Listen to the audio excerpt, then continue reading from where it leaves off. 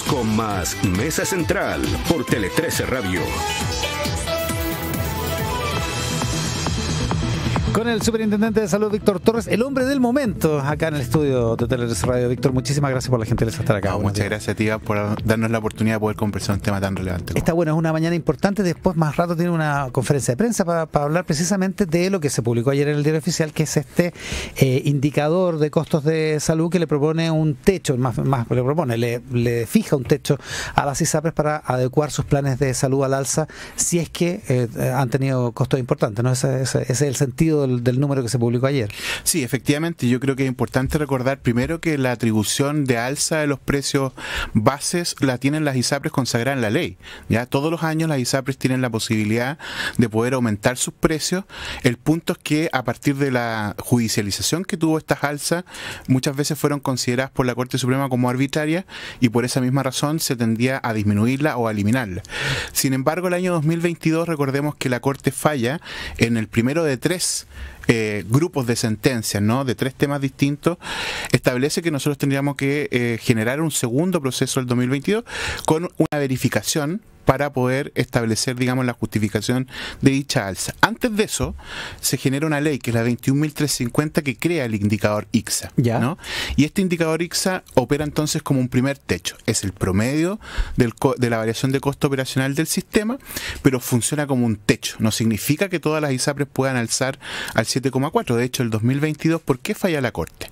Porque todas se fueron al 7,6 que se calculó ese año, ya sin justificar eh, individualmente el por qué. Entonces la Corte nos pide que instauremos un proceso de verificación y ahí fue que ISAPRE por ISAPRE nosotros fuimos estableciendo cuánto realmente podían alzar, ¿ya? Y aquellas que estaban por sobre el 7,6 de, de aquella época tenían que bajar obligatoriamente a ese número. Entonces operó desde ahí en adelante una suerte de doble techo.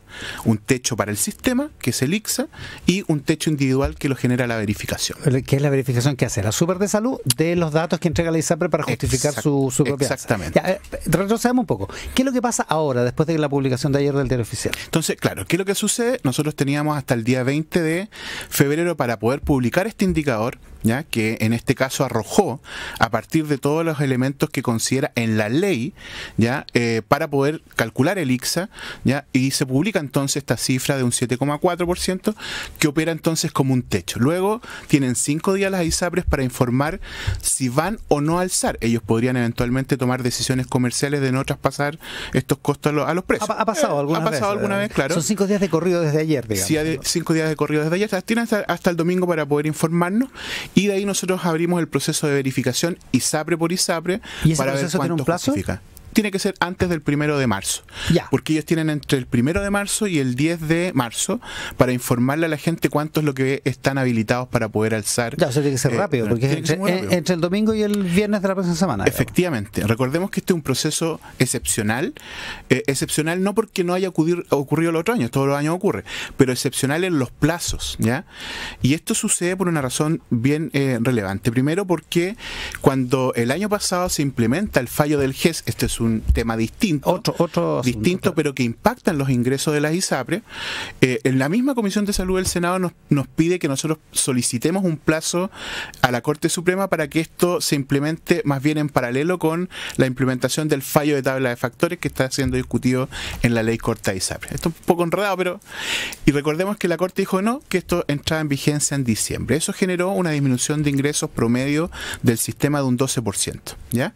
No sé si mm. te recuerdas de eso. Pero cuando ocurre esto, ya eh, la proyección que nosotros teníamos es que la primera ISAPRE que podía caer en incumplimiento estaba entre febrero o marzo. ¿Ya? Y por esa misma razón se plantea en el mismo Parlamento, que nos emplaza, digamos, a eh, poder eh, establecer algunas medidas, que una de ellas era adelantar algunas medidas que ya había sugerido la Comisión Técnica ¿ya? del Senado para la discusión de la ley que las adelantáramos entonces que era precisamente el, el, adelantar el IXA, ¿no? Claro, de modo, que, el sistema anticipara un ingreso un ingreso adicional, que además iba a ser insuficiente respecto del 12%. De hecho, ningún plan de salud va a quedar por sobre el costo que ya pagaban en noviembre, porque, la, porque en el, en, el, promedio al menos, ¿no? Porque el promedio como es de un 12%, estas alzas no se hacen cargo, digamos, de la totalidad de, esos, de esa disminución de los ingresos. Claro, los ingresos bajaron un 12% y ahora... En promedio, y ahora van a subir en un promedio que todavía no conocemos. Claro. Porque el, 7, no, pues, porque el 7,4 es un techo. Claro. Por lo tanto, para calcular el promedio de alza tenemos que conocer la verificación y eso lo vamos a ver la eh, próxima semana. No es real que el promedio de alza sea un 7,4. Ese es un promedio de la variación de costo de la industria que opera como máximo de alza. Ahora sí es cierto que, que ese techo para el proceso anterior, el del año pasado, fue un 2,6% y ahora es casi tres veces así. Sí, pero hay que recordar otro elemento, Iván, porque yo creo que es importante comparar peras con manzana y no peras, eh, o sea, peras con pera y no peras con manzana. Porque el indicador IXA del año 2006 consideró un elemento de contención que es el de FONASA elemento que fue eliminado de manera transitoria por este año a sugerencia de la misma comisión técnica y estaba esto siendo discutido en la ley corta, se adelantó por las razones que di recién en la ley de reajuste y por la misma, la misma sugerencia la comisión técnica nos dice por una vez eliminen ese factor porque se requiere obviamente tener un indicador un poco más alto. ¿Por qué? Porque ese factor normalmente es de contención, es, decir, absolutamente. si hubiera si hubiera hicieron el cálculo de, si, hubiera estado que lea una considerado, sí, considerado lo de FONASA, ¿cuánto hubiera sido? Sí, 4,5% aproximadamente. Eso hubiera sido. Mm. O sea, hay un diferencial de casi 3 puntos. Sí, y nosotros lo habíamos planteado 2,6. Lo habíamos planteado porque el año anterior también nosotros habíamos hecho el cálculo con y sin FONASA y la diferencia era de 2, y tanto por ciento. No, y sigue siendo más o menos lo mismo. Claro, entonces, ¿por qué dimos esa información? Porque no teníamos un indicador hoy día, no podíamos tampoco adelantarlo. Aquí la ley es muy clara, ¿ya? Porque se nos ha dicho que ha habido falta de transparencia en esto. Esto ha sido muy transparente, tanto así que todos los documentos técnicos están publicados en la página web de la superintendencia para quien quiera saber cómo se calculó esto. ¿ya? Y eh, la ley nos obliga a que sea conocido por el diario oficial. No puedo adelantar ninguna cifra antes de eso, ¿no? Porque sería obviamente contravenir aquello que garantiza la ley, que es el conocimiento oportuno de todas las personas. ya, ha habido controversias por cifras que se adelantan. sí, estamos completamente de acuerdo. Entonces, entonces aquí hay que ser responsable. Y en este sentido hemos sido muy responsables. Si se hubiera eh, considerado como se hace normalmente los costos de FONASA, la cifra hubiera sido 4,5%. Sí. La cifra es 7,4%. a eh, propósito pero las ISAPRES dicen, las ISAPRES dicen, reclaman, dicen, esto no, esto solo eh, eh, palía nuestros costos, esto no sirve para el problema estructural que estamos enfrentando. Bueno, eso es lo que siempre han alegado la ISAPRE, entonces me parece, digamos, un poco particular, digamos, algunos planteamientos que dejan entrever algunas dudas, ¿no? Del por qué se, llega a este valor, siendo que las mismas ISAPRE han reconocido que es insuficiente y lo plantearon desde el primer día. Y nosotros hemos dicho, bueno, esto es lo que podemos hacer, ¿ah?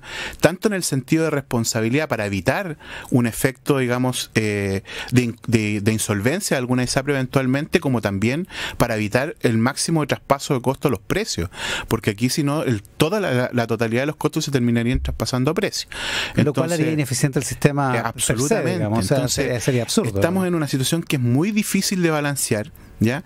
Y dentro de esa complejidad hemos actuado con absoluta responsabilidad. Ya, pero las ISAPRES no deberían reconocer de alguna manera que algo se está haciendo, digamos, porque porque la declaración de ayer parece como como si como si esto fuera eh, agua en el océano. O sea, en el mundo ideal uno esperaría que Moro y Cristiano reconocieran lo que uno hace, pero lamentablemente ocurre todo lo contrario. Moro y Cristiano te critican todo. ¿le, decepciona la, postura de las ISAPRES o no le sorprende? No, no, me sorprende, no me sorprende. Pues, sí, yo creo que, que es evidente que aquí, eh, bueno, no todo el mundo mundo queda conforme respecto de esto. El, senador Juan Luis Castro estuvo ayer en Conexión Tele 13 acá en, en Tele 13 Radio y, decía que esto, decía varias cosas. Uno, que esto fue un balde de agua fría para los, eh, para los cotizantes y que es un retroceso para los cotizantes. A ver, yo quiero ser bien claro. Primero, un retroceso sería eh, eliminar el IXA, ¿no? Que no tuviéramos la posibilidad de, de, tener una contención o un tope de alza como antes ocurría antes del 2022. Recordemos que, salvo los dos años que la ley misma 21.350 estableció que no podía haber alza producto de la pandemia, previamente a eso las alzas eran sin ningún tipo de techo. Y recordemos que incluso la apuesta de las ISAPRE era alzar lo más posible porque siempre había había un porcentaje menor que judicializaba. Y como los fallos eran individuales, entonces igual se quedaban con el diferencial de aquellos que no, eh, que no judicializábamos. Entonces, eh, claramente no puede hablarse de un retroceso cuando existe un indicador que ya coloca un techo. Y menos se puede hablar de retroceso cuando a partir de la, de la misma sentencia de la Corte Suprema, la superintendencia hoy día aplica no solo esa sentencia, sino que año a año, en todos los procesos, a pesar de que el proyecto de ley no ha salido todavía del Senado, aplica un mecanismo eh, de verificación que actúa como un segundo techo de manera individual. Entonces, la próxima semana lo que vamos a saber es cuánto puede subir cada ISAPRE.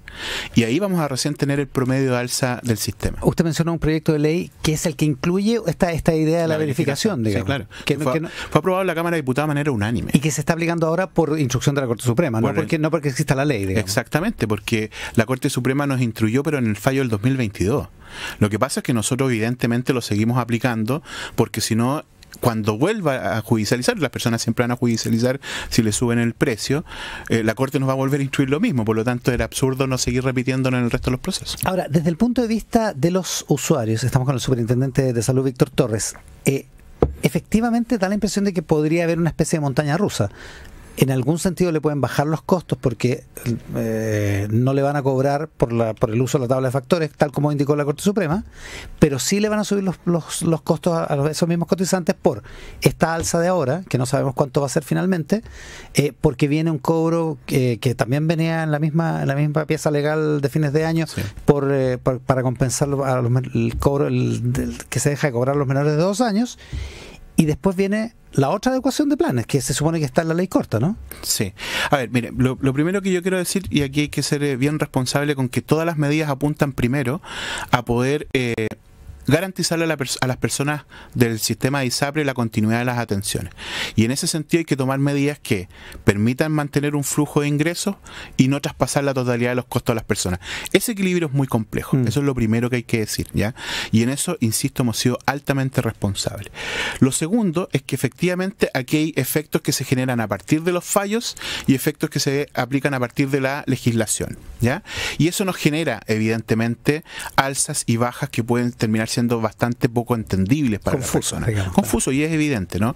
Por ejemplo, la baja que ya vivieron en diciembre las personas por el fallo GES, que en promedio dijimos es de un 12%, promedio del sistema, ¿ya? Eh, puede ser más o menos dependiendo de la ISAPRE, ¿no? Entonces ahí ya tenemos eh, una baja. Ahora viene el alza que todos los años viene, que es la ecuación precio base, que tiene un tope máximo de 7,4, pero que vamos a conocer ISAPRE por ISAPRE la próxima semana. Adicional a eso, vamos a tener una rebaja en aquellos planes a partir de marzo que tienen niños menores de dos años. Claro. Esos planes van a sufrir una disminución porque en se va a dejar de cobrar porque se deja de cobrar. Claro. Sin embargo, aquellos planes que están eh, las personas que están entre más de los dos años y menos de los 65, se le va a adicionar una prima de promedio 0,04 UF por persona. Como, dos mil pesos más. Para poder compensar los ingresos menores recibidos por percibidos por esta por esta medida. Ya, o sea, los que tienen niños menores de dos años van a tener una baja. Sí, claro. Y todos los otros van a tener una alza. Y ahí porque se aplica solidariamente. ¿Los que tengan mezclado van a sufrir las dos cosas? Ambas cosas ya es confuso. Es absolutamente, yo lo entiendo, pero, ¿eh? pero esa es la complejidad del tema, eh, Iván, y yo creo que hay que ser sincero con la gente. Ya, pero después viene otra, vendría otra alza. Ah, y después el alza precio base del 2025, todo esto producto de la ley de reajuste, no va a ser en julio, tampoco va a ser en marzo, va a ser en septiembre, porque ahí hubo una compensación, se adelantan tres meses este año y se retrasan tres meses el próximo año, por lo tanto va a haber 18 meses donde por esta materia no va a haber adecuación precio base distinto de lo que se está discutiendo, y aquí está el tercer punto, porque son, dijimos, tres materias, adecuación del precio base, prima GES y tabla de factores, las tres materias que se han judicializado. Y ahí tenemos entonces la discusión más gruesa eh, respecto de eh, la, ley corta. claro, que es lo que llamamos la ley corta. Claro, porque ya, ya en el ámbito de la tabla de factores se estaría cumpliendo esto de los menores de daño a partir de marzo, ¿cierto? Con la medida que acabamos de conversar. Eh, y, em, y claro, entonces la ley corta tiene que establecer si efectivamente una de las medidas tiene que o va a permitir poder aumentar nuevamente los precios. Eh, en la, todo, indica que va a ser así, ¿no? O sea, debiera ser. Lo que pasa es que el Senado rechazó esta medida, entonces hay que ver qué lo que, lo que ocurre, digamos, en la Cámara de Diputados. Eh, y hay que ver efectivamente también un techo, ¿no? ah, porque aquí se planteó en el Senado, ya la ministra de Salud comprometió en la votación del Senado que en la discusión de la Cámara se iba a colocar un techo. ¿Por qué? Para el, para el eventual alza. Para el eventual alza. ¿Por qué razón? Porque necesitamos conocer el efecto de la alza de la ecuación precio-base y cuánto absorbía de los menores ingresos producto del GES y de los menores ingresos producto de la aplicación del fallo de la Corte Suprema sobre tabla factor. O sea, se necesita conocer lo que está pasando ahora, digamos. Claro, para poder saber cuánto es el techo, porque si no terminas determinando un techo, ¿por qué? Por una cuestión arbitraria, porque te tincó, porque te levantaste. No, si esta cuestión tiene que ser, es bastante más técnica de lo que uno eh, pretende. Entonces eso es, necesitamos este elemento por lo menos. ¿Y la famosa cifra del cuarenta y tantos por ciento de alza potencial? Yo quiero aquí también aclarar un tema, ¿ya? Porque a nosotros se nos hizo una consulta a partir de cómo estaba redactado el proyecto de ley. Esto es la discusión en, de la ley corta. Exacto. Entonces, en la discusión de la ley corta, y aquí voy a aclarar un segundo punto que salió también en los medios de comunicación. Eh, en la ley corta se, planteó, se plantea entonces una rebaja que es producto de la aplicación de la tabla de factores, ¿ya? Claro. Porque cuando uno pone la tabla nueva, algunos planes bajan, otros se mantienen igual, ¿ya? Y, eh, y luego de eso, si es que se aplica un alza para compensar esos ingresos, a partir del valle que se produce producto de esta rebaja, el alza potencial podría llegar en algunos casos a ser hasta el 40%, que eran me parece que el 13% de los planes de una ISAPRE. Ya, no es el 40% de lo que se paga hoy, sino que es, de lo que se pagaría rebajado. después de rebajar, después de toda la rebaja aplicando la nueva tabla de factores. Exacto. Entonces, cuando uno va a la alzas neta, los valores son bastante menores. ¿Ya?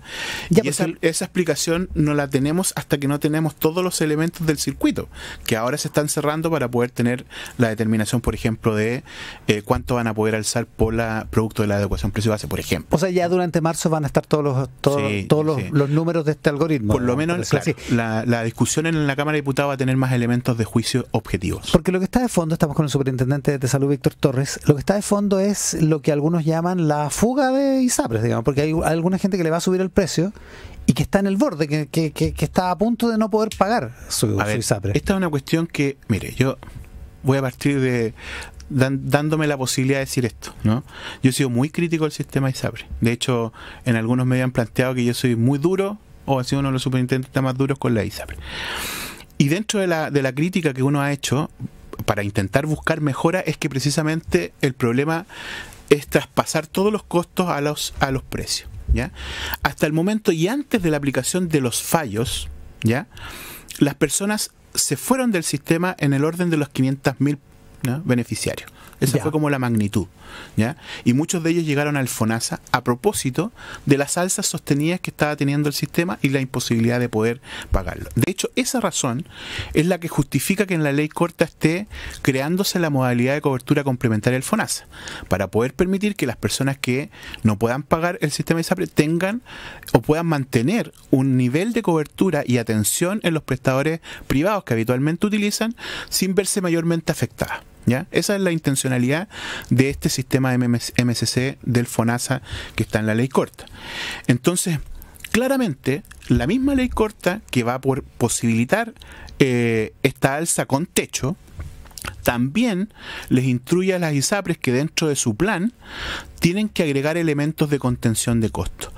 Uno de los problemas mayores, y si usted me pregunta en qué se sustenta mayormente el 7,4 del IXA, pues bien, este año, paradojalmente, más que por el aumento de las prestaciones, que eso ya de por sí aumenta los costos, es en el costo mismo de las, eh, más, más que la frecuencia, perdón, es en el costo de las prestaciones en el valor de las prestaciones fueron más caras. ¿Ya? ¿Ya? De hecho, el costo de las prestaciones contribuyeron en, 10 puntos porcentuales. O sea, no es que hay más exámenes, por decirlo así. Los exámenes son más caros pero además son, más, caros. Y el peso de lo más caro fue mayor que la mayor cantidad realizada. Perfecto, Sí, sí, De hecho, el SIL, que es las licencias médicas, tuvo una baja. Hacia ¿ah, en relación al año anterior. Porque esto, esto es una buena noticia. Esto es una variación interanual, sí, aporta menos 3.3 puntos porcentuales en la construcción del indicador. ¿ya? Entonces, ¿cuál es el punto? cuando nosotros observamos que pueden existir alzas de esta naturaleza, es cómo avanzamos a un sistema sanitario ya que no tenga elementos o mecanismos de pago con espiral inflacionaria. Mm. El mecanismo de pago del sistema privado, y es una de las críticas que yo siempre he hecho, es altamente ineficiente. Claro, porque me te pagan por cada cosa que tú... Primero te suben los costos. Me suben los costos y, y, yo puedo subir el costo absolutamente. para paliar esa, esa alza. Así es. Pero además... Está incentivado, está, está cruzado Además, si yo te pago a ti por cada cosa que tú haces, ¿qué vas a hacer tú para ganar más plata? Hacer, más, hacer más cosas, claro. Sean o no necesarias. Mm. Entonces, cuando el mecanismo de pago es por prestación y no por resolución de un problema, tú puedes ver muchas prestaciones en un solo problema de salud que no necesariamente se, eh, son útiles para resolver ese problema. No hay eficiencia en eso. Claro, típicamente a alguien le duele la guata y lo mandan a hacer un escáner porque por ejemplo, para ver si tiene algo en la guata. O las cirugías que te mantenían más días Mm. Eh, en cama en, el, en, la, clínica porque alguien las paga. Entonces, al final, ¿quién las paga? Las termina pagando el usuario del sistema FONA, del sistema ISAPRE. cuando Cuando le suben al año siguiente el precio por la variación de costo.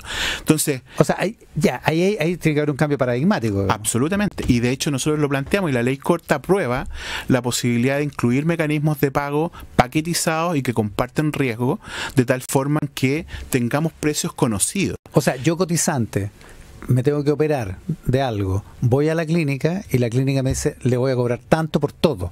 Eso es lo ideal, ¿no? Y le voy a traspasar y, su seguro de salud le va a cubrir este tanto. tal, tal porcentaje. Todos sabemos lo que hay que pagar. sabemos. Claro. Y no esta cuestión que uno va a hacer una va a hacer una un ¿cómo se llama? un programa o le hacen un presupuesto y, y cuando sale le cobran el triple. ¿Ya? claro. Y, le, cobran derecho pabellón y además las cosas que usan en el pabellón, por ejemplo. y de hecho hay algunas experiencias así. Hay, por ejemplo, los partos, típicamente, hay, FONASA ha, innovado durante mucho tiempo sobre esta materia. Son los PAD de FONASA y los GRD. Los GRD son mecanismos de pago que existen en el mundo hace mucho tiempo, ¿ya? Y algunas ISAPRE han avanzado en el paquetizado. Sin embargo, nosotros no hemos podido reglamentar esto porque la ley no nos, no nos permite y se hizo una modificación en la ley corta aprobada en el Senado para avanzar en estos mecanismos de pago que ayudan a contener costos. Estamos con el superintendente de salud, Víctor Torres. Eh, una última cosa sobre el 7, famoso 7,4, que es el, ya, lo, ya lo ha aclarado el superintendente, es el techo para las ISAPRE y el alza eh, específica, concreta, se va a ver durante la próxima semana. ¿Qué otras cosas son importantes en ese 7,4 que influyen para llegar a esa cifra? Básicamente como son variaciones de costos operacionales, no de costos financieros, porque esto recordemos que lo que permite justificar un alza sobre UF. ¿ya? ¿Te acuerdas que nosotros cuando yo cuando, cuando el indicador fue 2,6, la gran crítica vino del otro lado, ¿no? que me decían esto no siquiera absorbe eh, la, inflación, la, inflación, Que la inflación ha sido 12%. claro, pero resulta que la inflación está imputada prácticamente a los valores de UF. Claro, son planes indexados, están en UF. Exactamente. Entonces, ahí también te hubo por otro lado que le pegan a uno los moros y los cristianos. Entonces, el punto es que, mm, es que claro, para justificar esto son variaciones de costos operacionales. De hecho, la, la ISAPRES critica mucho el techo del IXA porque hay algunas que varían por sobre el techo y esas que tienen variaciones por sobre el techo, la diferencia que no pueden alzar la tienen que absorber ellos, ¿ya? Pero fundamentalmente se basa en dos elementos, ¿ya? Voy a decirlo muy en simple, esto es un poquito más complejo, pero los dos elementos tienen que ver con eh, la ponderación de los costos de prestaciones de salud MLE sobre el total del costo de operaciones y la ponderación de los gastos en sí. En definitiva son dos elementos, cuánto se gasta por el ámbito de las prestaciones y eso, eso influye, por ejemplo, en la frecuencia de uso, el valor, digamos, de cada una de las prestaciones, el índice de precio, ¿ya? y por otro lado, eh, cuánto es lo que tú estás gastando por eh, licencias médicas. Son como los dos grandes elementos que conforman, pero no es algo tan simple decir cuánto subieron las prestaciones, no, son, son otros elementos. más complejo que eso. Es más complejo. Ahora, dicho eso, y a pesar de que bajó el, el, el costo privado en, licencias médicas, ¿sigue siendo las licencias médicas un talón de Aquiles de este sistema? O sea, yo creo que eso es parte de lo que tenemos que discutir un debate más de fondo, ¿no? En lo que implicaría modificaciones más estructurales, ¿no? De cómo Chile piensa el sistema eh, de licencia médica. Primero porque hay que entender que la licencia médica es un derecho de los trabajadores, ¿no? En el momento en que ellos sufren de una enfermedad y que les garantiza poder mantener la continuidad de sus ingresos y que no los echen, ¿no? Sin embargo, el mal uso de este instrumento es que es el que ha generado efectivamente eh, aumento de los precios porque todo aquello que se utiliza mal tiene un costo que finalmente lo termina pagando las personas en el aumento de los planes año a año. Entonces, eh, eso requiere, digamos, obviamente una vía que nos permita eh, hacer mucho más justa la entrega de licencias médicas y disminuir la brecha entonces eh, de sobre rechazo, porque en algunos casos hay sobre rechazo para contener costos y, e injustamente se rechazan licencias médicas, pero por otro lado también hacerse cargo de aquellas licencias médicas que no están en lo absoluto justificadas y que terminan siendo parte incluso de algunos negocios personales de algunos médicos. Como hemos visto, tal cual. El superintendente de salud, Víctor Torres, esta mañana aquí en Mesa Central. Superintendente, muchas gracias por la gentileza. Muchas